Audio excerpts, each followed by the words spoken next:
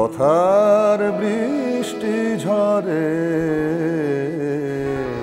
থাকিও না চুপ করে। কবি যখন বলছেন যে, চুপ করে থেকো না, কথা কও, মৌন গগনে হেরো, কথার বৃষ্টি ঝরে। তিনি চাইছেন যে, কথার বৃষ্টি ঝরুক। কথার বৃষ্টি শুধু নয়, কাজের।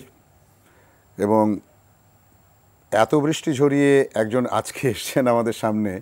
তার কবিতা তার গবেষণা তার প্রবন্ধ তার উপন্যাস এবং কপিরাইট নিয়ে কাজ আরও অনেক কিছু নিয়ে কাজ করেছেন কবি মোহাম্মদ নুরুল হুদা আজ গানের অন্তরালে অনুষ্ঠানে।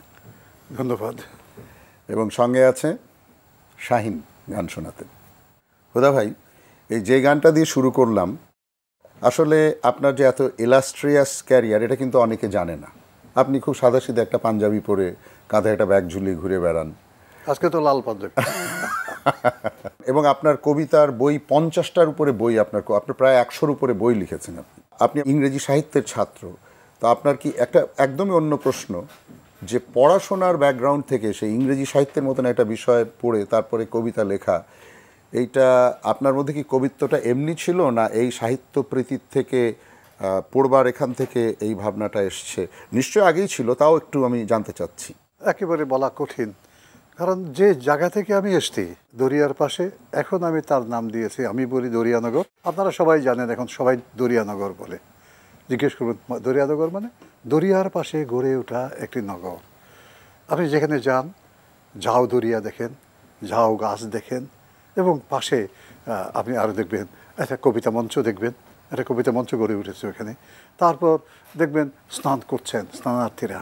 অর্থাৎ আমি আপনাদের একেবারে জানা কক্সেস বাজারের কথা বলছি ওইখান থেকে। আর যে গ্রামের নাম, আপনি শুনলে কিন্তু কেমন লাগবে? পোকখালি। আমি এর উৎস নির্ধারণ করতে চেয়েছিলাম। যে এলাকা থেকে এসছি ওইখানে ঝর্ণা ধর্ণা ইত্যাদি ছিল আর বিশাল পোকা ছিল গো গো গো শব্দ হতো। আপনি যে গানের কথা বলছেন যে সুর ওই সুর কিন্তু ওইখানে একটা আছে আমাদের গ্রামে গায়ক ছিল লোকগায়ক। এর বাইরে আমরা পরিশীলিত গায়ক বলতে যাদের বোঝাই তাদেরকে বুঝি শুধু গ্রামোফোন ছিল আর মাইকে গান হতো সেইখানে হঠাৎ দেখেছি মরমিয়া তুমি চলে গেলে ইত্যাদি কিংবা আপনি যে গানের কথা আমরা পরে হয়তো বলব মানে একদম দুটা দুই প্রান্ত। দুই দুই প্রান্ত। ওইখান থেকে একটা জিনিস আমি বলব আমাকে উদ্দীপিত করতে সেটা হলো সকালবেলা শীতের সকাল বিশেষ করে। শীতের সকাল যদি আসে খুব সকালে আমরা উঠে যেতাম বাবার ধাক্কাকে উঠ হ্যাঁ ওই মসজিদে যেতে হবে নামাজ পড়তে হবে এ একটা কথা অথবা স্কুলে যেতে হবে তারপর। তৈরি হয়ে স্কুলে যেতে হবে তিন চার মাইল পথ হেঁটে যেতে হবে কাজে খুব ভোরে উঠতে হবে। সকালে যদি উঠে একটা শব্দ পেতাম সেই শব্দটা অবশ্যই পশ্চিম থেকে আসতে আদিনাথ পর্বত পার হয়ে মহেশখালী সে বীজ পার হয়ে সাগরের যে গর্জন, শো শো শো, একটা শব্দ। সেই শব্দটিই বলা যায় আমার ভিতরে ঢুকে পড়েছে। আবার আদিনাথ মন্দিরের যে পাহাড়, সে পাহাড়ের উপরে একটা বৃক্ষ ছিল। সন্ধ্যায় যখন আমি বাড়িতে ফিরে আসতাম, তখন দেখা যেত ওই বৃক্ষের ফাঁক দিয়ে একটা সূর্য ডুবে যাচ্ছে। তখন এক সূর্য শত সূর্য হয়ে বিচ্ছুরিত হয়েছে আমি তার নাম দিয়েছিলাম আলোক বৃক্ষ। আলোক বৃক্ষ। এই সমস্ত দেখা চেতনা শব্দ বলব আর চিত্র কেমন যদি বলে আচ্ছা ওটা আলোক বৃক্ষের ফাঁকে গর্জন করে সমুদ্র। এটা যখন লিখে ফেললাম মনে হলো যে সাধারণ কথা না। এই করে কেমন করে তারপর ইয়েতে ঢুকে গেলাম কিন্তু না কিন্তু এরকমও তো হতে পারতো যে আপনি ওরকম একটা জায়গা একেবারে সমুদ্রের পাশে আপনি তো একজন জেলে মাঝি মৎস্য শিকারীও হতে পারেন আমি তাই ছিলাম তো। আমার বাবা আচ্ছা। খুব ভালো মানে জাল বাইতে পারতেন। তার সঙ্গে গিয়েছি আমার একটা উপন্যাস আছে ছোট জন্মজাতি। তাতে আমি বলেছি বাবার সঙ্গে গিয়ে কীভাবে মাছ ধরেছি? আমি তিরিশ রকম চিংড়ি মাছের নাম এখন আপনাকে বলতে বাহ। তার কা- কাজেই এই জীবনও ছিল। আপনার জন্মজাতীয় একটা অসাধারণ নতুন ডাইমেনশনের একটা উপন্যাস আপনি পড়েছেন নাকি? যেটা খুব আলোচিত এবং ধন্যবাদ বোধ হয় আপনি জানেন এটা। ফলে ওইটা পড়লে বোঝা যাবে আমি কোন ইয়ে থেকে এসছি। আমি শুধু এটুকু বলব প্রকৃতি আপনি যেটা বললেন প্রকৃতির ভিতর একটা সুর আছে। প্রকৃতিতে সর্বপ্রাণবাদের উৎস। সেই ওই প্রকৃতির সঙ্গে যে কানাকানি করে প্রকৃতির কাছে যে কান পাতে সে ওই পোকার কাছ থেকেও একটা সুর পেয়ে যায়। বাহ। তারপর সে সমুদ্রের কাছ থেকেও একটা এক ভয়ঙ্কর আতঙ্ক জীবন পায় আবার ভয়ঙ্কর সৌন্দর্যও পায়। মানে আপনার কবি হওয়ার ক্ষেত্র সবই প্রস্তুত ছিল। কিন্তু কিন্তু তারপরেও আপনি তো শুধু কবি নন আপনি যে এই যে ইংরেজি সাহিত্যে পড়লেন তারপরে আপনি কপিরাইট নিয়ে কাজটা কি ওখান থেকেই আপনি প্রেরণাটা না না না কপিরাইট নিয়ে কাজটা সম্পূর্ণভাবে আমার পেশাগত দায়িত্ব থেকে আমি পেয়েছি। আমি বলব যে ওই ইংরেজি সাহিত্যে আমি কেন হলাম? সেটাও বলা যেতে পারে যে যে বিদ্যালয় থেকে আমি পাশ করলাম Idgah model high school Idgah আদর্শ উচ্চ বিদ্যালয়। সেখান থেকে সরাসরি চট্টগ্রাম পার হয়ে ঢাকায় চলে এলাম। চট্টগ্রামে ভর্তি হওয়ার সময় পার হয়ে গেছিল। হলো না ঢাকা কলেজে এলাম। ঢাকা কলেজে আসার পর বিশ্ববিদ্যালয়ে যখন ভর্তি হব তখন আমার প্রথম প্রেফারেন্স ছিল বাংলা। আচ্ছা। দ্বিতীয় অগ্রাধিকার ছিল ইকোনমিক্স তৃতীয় অগ্রাধিকার ছিল ইংরেজি। কিন্তু এই সময় আমি নাম বলতেও পারি যিনি ডিন ছিলেন তিনি ইংরেজি বিভাগের প্রধান ছিলেন খুব বিখ্যাত একজন প্রফেসর তিনি ওই সময় আমার অগ্রাধিকার কেটে এক নম্বর ইংরেজি দুই নম্বর ইকোনমিক্স তিন নম্বর বাংলা যাতে আমি বাংলায় আসতেই না পারি না। এর মূল কারণ ছিল বোধ হয় উনি প্রধান ইয়ে ছিলেন পরীক্ষক ছিলেন ইংরেজিতে আমি ওই সময় সর্বোচ্চ নম্বর পেয়েছিলাম। নামটা আমাদের তো জানা ডক্টর সাজ্জাদ হোসেন। ও ডক্টর খুব বিখ্যাত হ্যাঁ, আহ, প্রফেসর আমার খুবই শ্রদ্ধেয়। আচ্ছা আমাদের অনুষ্ঠানে কিন্তু আপনার পছন্দের গান থাকবে। প্রথমে যদি বলি যে কোন গানটা শুনতে চান? তোমারে লেগেছে এত যে ভালো। K G Mustafa. K G. এখন তো তিনি আছেন। জি, জি। তালাত মাহমুদ গেয়েছিলেন তাই না? অসাধারণ একটা গান। রবীন রবীন ঘোষের সুর এটা। হ্যাঁ, তো আমরা শুনি একটু শাইনের কণ্ঠে।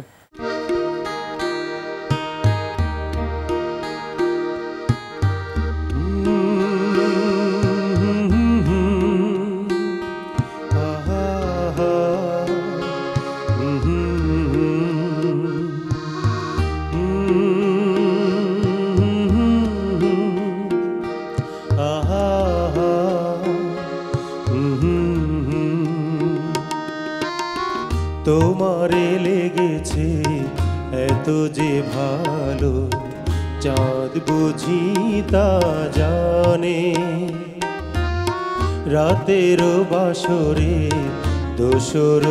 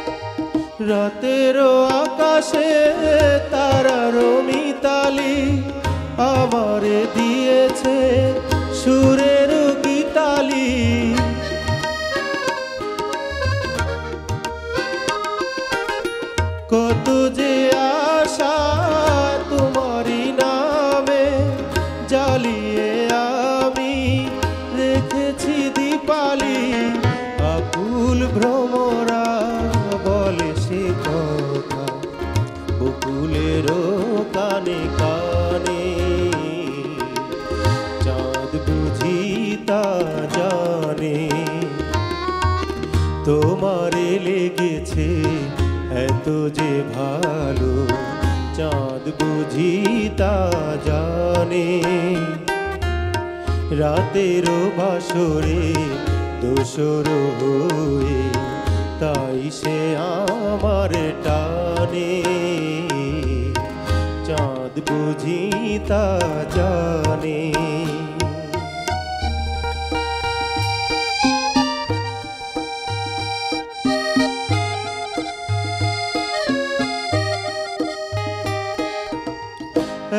যে কাছে পেয়েছি তোমারে, এত যে প্রীতি দিয়েছ আমারে।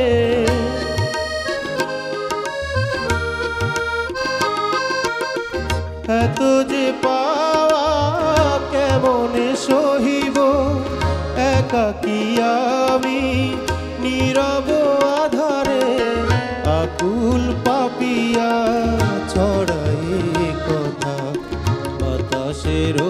কানে কানে। চাঁদ বুঝি তা জানে। তোমারে লেগেছে এত যে ভালো, চাঁদ বুঝি তা জানে। রাতের বাসরে দোসর হয়ে, তাই সে আমার টা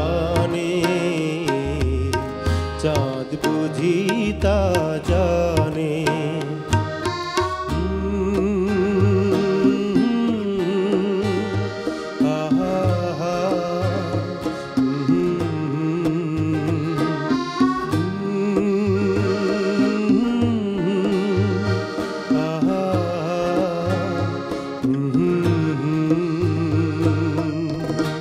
এই যে তোমারে লেগেছে এত যে ভালো এটা তো গান।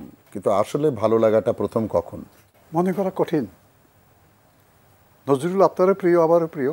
কার না প্রিয় নয়? প্রেম সত্য প্রেমিকা সে বহু। বহু পাত্রে ঢেলে খাব পিব সে শরাব লোহ। সুতনুকা তোমাকে করেছে পান শত কামনায়। বৃঙ্গারে গেলাসে কবু কভু পেয়ালায়। কাজেই ভালোবাসার মতো সব ধরনের প্রেম আকর্ষণ যদি ঠিক কথা বলি, তাহলে এটা পাল্টায় পাল্টাতে শুরু করে। শৈশবে কোন শ্যামাঙ্গীকে দেখে কীভাবে ভালো লেগেছিল, এখন মনে করতে পারি, নামও মনে করতে পারি, কিন্তু বলা যায় না। তারপর বাস্তবতায় প্রবেশ করে যখন দেখি যে বাস্তবে যার সঙ্গে জীবনযাপন করছি, প্রেম যেখানে বাস্তব রূপ লাভ করেছে, সেটা ঠিক বহু দূর পার হয়ে সেই পক্ষালিতে নাই যে ঢাকা শহরে ঢুকে গেছে। এবং সেই শ্যামাঙ্গিনী সেই রমণী শুধু ওই দরিয়ানগরে আবদ্ধ নয় সে ধরা যাক ব্রাহ্মণবাড়িয়ার পাশে চলে এসছে। আচ্ছা। তাই না? তা এইভাবে আমি বলব যে কিন্তু বিয়ে তো প্রেমের। হ্যাঁ তা তো বটেই। বিয়ে তো প্রেমেরই। ঢাকা বিশ্ববিদ্যালয় থেকে কি তাকে, তার সঙ্গে দেখা হয়েছে। আচ্ছা। এবং এটাও একটা ব্যাপার আছে আমি আম, আপনি বোধহয় জানেন আমি হোমিওপ্যাথি করি। এবং হোমিওপ্যাথির আমার বিশেষজ্ঞ ও যে ট্রিটমেন্ট তাতে হচ্ছে মাথা ব্যথা সারানো। আচ্ছা। জীবনের শুরুতে কবিতা লেখার সঙ্গে সঙ্গে হাত দেখা এবং মেয়েদের মাথা ব্যথা সারানো একটা কৌশল আমি আবিষ্কার করেছিলাম। যেটা শুনে এই যিনি এখন আমার জীবন সঙ্গী মানে তার মাথা ব্যথা সারাতে যে? মার তার মাথা ব্যথা সারাতে গিয়ে আপনি নিজের পার্মানেন্ট মাথা ব্যথার ব্যবস্থা করেছেন। তার মাথা ব্যথার ব্যবস্থা করেছি আর কি। আচ্ছা। আপনার সম্বন্ধে খুব ভালো বলতে পারবেন কে আছেন? আমার বন্ধুরা পাশাপাশি যারা কবিতা লিখেছে কবিতার সঙ্গে আমাদের জীবনকে দেখেছে। কবি হাবিবুল্লাহ সিরাজ। উনি লাইনে আছেন কিনা একটু দেখি? আচ্ছা হতে পারে। হ্যালো? জি। ইসলাম আলাইকুম। আমি গানের অন্তরালে অনুষ্ঠান থেকে সুজিত মোস্তফা বলছি। হাবিবুল্লাহ সিরাজি সাহেব বলছেন? জি জি জি জি বলছি। জি ইসলাম আলাইকুম। কেমন আছেন? জি, জি ভালো আছি। আপনি কেমন আছেন? জি ভালো আছি। থ্যাংক ইউ জি জি। আপনার খুব ঘনিষ্ঠ বন্ধু কবি মোহাম্মদ নুরুল হুদা আজকে আমার সামনে।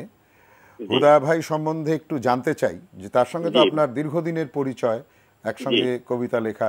আপনারা সম্ভবত ষাটের দশকের কবি। কবিত্ব নিয়ে প্রশ্ন নয় কবিতা নিয়ে প্রশ্ন নয়। মানুষ হিসাবে কেমন পেয়েছেন ওনাকে? অতুলনীয় একজন মানুষ কারণ আমার সঙ্গে তার যা সম্পর্ক দীর্ঘদিনের সম্পর্ক সেই ষাটের দশকের শেষ থেকে শুরু করে আজ অবধি যে বহাল আছে এটি তার প্রমাণ। তারপর একটা প্রশ্ন করি যে আমি হুদা ভাইকে যতদিন ধরে দেখছি দীর্ঘদিন ধরে সদা হাস্যময় সবসময় একটা হেল্পিং অ্যাটিটিউড উনি মানুষের সঙ্গে অবলীলায় মিশছেন সবার সঙ্গে। কিন্তু আপনি কি এরকম কখনো জানতে পেরেছেন যে উনি অন্য কারও চক্ষুশূল হয়েছেন বা কারও সঙ্গে ওনার কোনো একটু সম্পর্ক খারাপ হয়েছে? দীর্ঘ জীবনে অনেক সময় অনেকের সঙ্গে তার মন মতো যদি কোনো কাজ না করে থাকেন হুদা সাহেব তখন হয়তো তিনি ক্ষুণ্ণ হয়েছেন। হুদা কোন জিনিসটা আপনার সবচেয়ে ভালো লাগে? তার লেখালেখি তো অবশ্যই আমি একজন ভক্ত। তবে তার তার ভেতরে যে একটা আন্তরিকতা আছে, সহজ সরল ভাবে গ্রহণের যে একটি ক্ষমতা আছে, এবং পরস্পরের প্রতি যে ভালোবাসার নিদর্শন স্বরূপ দেওয়ার ব্যাপারটাই উনি অকৃপণ আচ্ছা আপনি তো সমকালের মানুষ, কিন্তু আপনি কি এটা লক্ষ্য করেছেন যে হুদা ভাই ছোটদের সঙ্গেও একইভাবে মেশেন? যাদেরকে উনি মনে করেন বিবেচনা করেন যে মেশার উপযোগী আমি অন্তত তাই দেখেছি। তার সঙ্গে তিনি মেশেন এবং মেশাটা খুব আন্তরিক এবং সম্পর্কটিকে বজায় রাখার জন্য উনি সচেষ্ট থাকেন। আপনাকে অনেক ধন্যবাদ। নিশ্চয়ই আপনাকেও একদিন আমাদের এই অনুষ্ঠানে আমরা পাবো। সবাইকে আমার প্রীতি ও শুভেচ্ছা। আর আচ্ছা। হুদার জন্য অনেক অনেক শুভেচ্ছা ভালোবাসা। যে আপনি ভালো থাকেন। ধন্যবাদ। হুদা ভাই আপনি একুশে পদক পেয়েছেন দু হাজার পনেরোতে এবং উনিশশো অষ্টআশিতে আপনি বাংলা একাডেমি পুরস্কার পেয়েছেন। সব মনে আছে। আপনি আরও অনেক পুরস্কার পেয়েছেন এবং অষ্টআশিতে তার মানে তখন আমার বাবা বাংলা হ্যাঁ, বাংলা একাডেমি একাডেমিতে। তো আমার বাবার সঙ্গে আপনার সান্নিধ্যর বিষয়টা একটু আমার জানতে অসম্ভব। করছে। একটা কিংবদন্তির মতো প্রায় নাম অধ্যাপক হিসেবে। যেদিন প্রথম তার সঙ্গে আমার দেখা হলো সেদিন আমাকে বললেন যে হ্যাঁ আমি আপনার দূরে যাচ্ছ কবিতাটি পড়েছি। আমি অবাক হয়ে লক্ষ্য করলাম একজন সাধারণ তরুণ কবি, তার কবিতা তিনি পাঠ করেছেন। এটা হলো প্রথম, তার সঙ্গে আমার ব্যাপার তারপর বাংলা একাডেমিতে তিনি একটা প্রবন্ধ পাঠ করেন, বাংলাদেশের কবিতা সম্পর্কে। খুবই সুন্দর, ছোট্ট প্রবন্ধ। আমি আলোচক, এটা বহুদিন পরে। আমি বললাম যে, স্যার, যে এটা পাঠ করলেন, এটা আমার খুব মনোপুত হয়েছে, কিন্তু এটা একটা আসলে থিসিস মানে ডক্টর ডিগ্রি করার থিসিস স্যার যদি অনুমতি দেন, এই বিষয়ে আমি একটা ইয়ে করে ডিসার্টেশন তৈরি করে তারকে উপস্থাপন করলে আমার মধ্যে একটা ডিগ্রি হয়ে যাবে। তখন থেকে তার সঙ্গে আরও সম্পর্ক ভালো হয়ে গেল এবং বাংলা একাডেমিতে যখন তিনি চলে এলেন, প্রথমে এসেই তিনি সকালে আমাকে ডাকলেন ডেকে আমি গেলাম, গিয়ে বললাম, এখন স্যার আপনি পরিপূর্ণভাবে আমার স্যার আপনি প্রফেসর আবুহেনা মুস্তফা কামাল নন, আপনি কবি আবুহেনা মুস্তফা কামাল নন, আপনি বাংলা একাডেমির মহাপরিচালক কবি আবুহেনা মুস্তফা কামাল। বলে, আমি দাঁড়িয়ে আছি। আপনি বসুন। তাই মানে আপনি স্যার সবসময় আমাকে আপনি বলেন। বসুন, আমাকে বলেন, বসো, বল না। আমি আপনাকে আপনি বলব এবং ডেকেছি এক কাপ চা খেতে। আর একটা কথা কি? একটা কবিতা লিখেছি। কবিতাটা কেমন লাগে আপনার বলে? অসম্ভব। এবং সেই কবিতার নাম হলো আক্রান্ত গজল। ও আক্রান্ত গজল তিনি শোনালেন শুনে কেমন লাগল? স্যার ভালো লাগেনি স্যার। আমি আমি উত্তর সদুত্তর ভালো? লাগেনি। আচ্ছা। কেন? বলতে এই কবিতা লিখে আপনি থেমে যাবেন স্যার। এই কবিতা যদি একটি বইতে পরিণত হয় তাহলে এই কবিতা আমার ভালো লাগবে ভালো লাগাটা সম্প্রসারিত হবে এবং প্রতিদিন সকালে আমি আপনার একটা চায়ের দাওয়াত চাই একদিন নতুন কবিতা চাই। এতটাই উদ্দীপিত হলেন আচ্ছা। আক্রান্ত গজল কিন্তু বই হয়ে বেরোলো। সেটি আমার বাবার হ্যাঁ, শেষ হ্যাঁ। বই। অনুষ্ঠানের শেষ প্রান্তে কোন গানটা আমরা শুনব? নিজের মুখ দেখাই তো ভালো। আয়নাতে নিজের মুখ দেখাটাই ভালো। মাহমুদ মাহমুদুল নবীর কণ্ঠে বিখ্যাত গান। সেই বিখ্যাত গান আমরা সুন্দর নিজের মুখ দেখব। তো আমি একটু বিদায় নিয়ে নিই। প্রিয় দর্শক আপনারা দেখছেন গানের অন্তরাল এবং আজকে আমাদের সঙ্গে আছেন কবি মোহাম্মদ নুরুল হুদা। গান শোনাচ্ছে শাহিন। আশা করি আগামী অনুষ্ঠানের সাথে পাবো। আজকে নিশ্চয়ই অনুষ্ঠানের শেষ পর্যন্ত সাথে থাকবেন।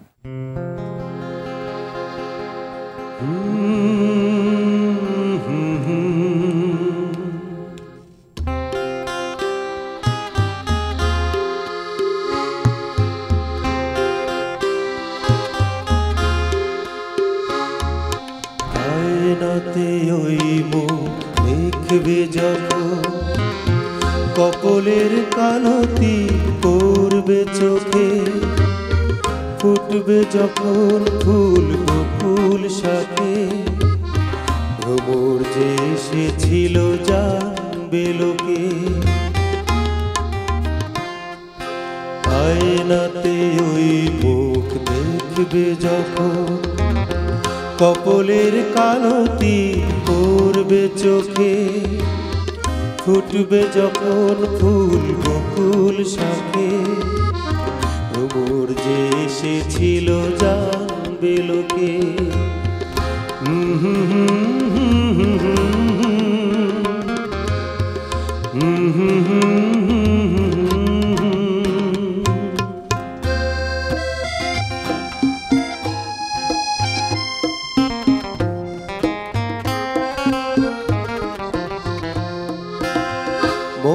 তোমার কেন দুরু দুরু কাছে মনের মানুষ কি গো চেনা চেনা লাগছে? তুমি কি তারে কাছে রাখবে? হৃদয়ের কাছে সে রয় হঠাৎ যখন তুমি দেখবে তাকে, সরবিনয়ন কি গো রাখবে ঢেকে? আয়নাতে ওই মুখ দেখবে যখন কপলের কালতি করবে চোখে। ফুটবে যখন ফুল গোকুল শাখে। ভ্রমণ যে এসেছিল যাবে লোকে। হুম হুম।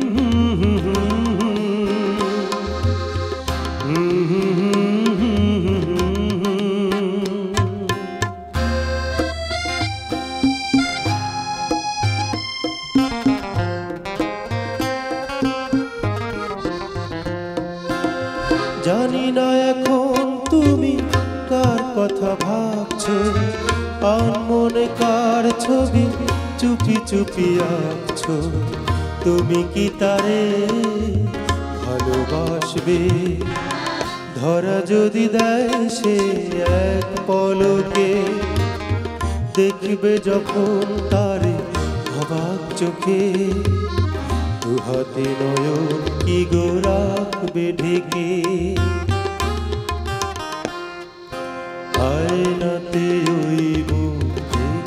দেখবে কপলের কালতি পড়বে চোখে। ফুটবে যখন ফুল বকুল শখে গোবর যে এসেছিল যাবে লোকে। হুম হুম